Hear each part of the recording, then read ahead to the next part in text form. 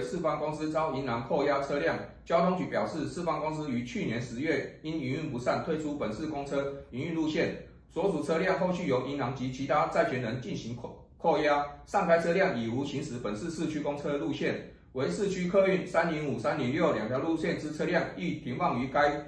停车场，因配合消防救灾动线需求，故有部分班次。沿路发车，现已陆续恢复行驶中。交通局已要求本市市区公车业者定期举办公电动公车消防演练，并落实车辆设备安全检查，以维护民众乘车安全。